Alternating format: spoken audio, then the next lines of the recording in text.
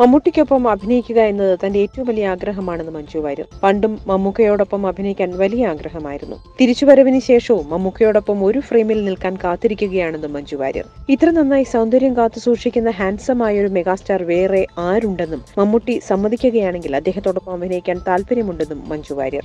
മോഹൻലാലിനോടൊപ്പം അഭിനയിക്കുമ്പോൾ അഭിനയം മാത്രമല്ല മറ്റുള്ളവരോട് എങ്ങനെ പെരുമാറണമെന്നുവരെ പഠിക്കാമെന്നും തന്റെ പതിനെട്ടാം പിറന്നാൾ ദിവസം ആറാം തമ്പുരാനിൽ ലാലേട്ടനോടൊപ്പം അഭിനയിക്കാനായത് പിറന്നാൾ സമ്മാനം പോലെയായിരുന്നു എന്നും മഞ്ജു വാര്യർ ലാലേട്ടനെ താൻ ഗോഡ് ചോസൻ സൺ എന്നാണ് വിളിക്കുന്നതെന്നും ലാലേട്ടൻ അഭിനയിക്കുന്നത് തിരിച്ചറിയാൻ കഴിയില്ലെന്നും അതാണ് ലാലേട്ടൻ മാജിക് എന്നും മഞ്ജു വാര്യർ വനിതാ മാഗസിനിൽ നൽകിയ അഭിമുഖത്തിലാണ് മഞ്ജു ഇക്കാര്യം പറഞ്ഞിരിക്കുന്നത്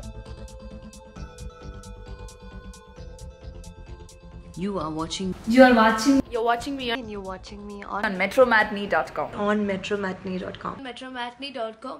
Metromatney.com. Subscribe for more videos. Subscribe for more videos. Subscribe here for more videos. Subscribe now. Thank you.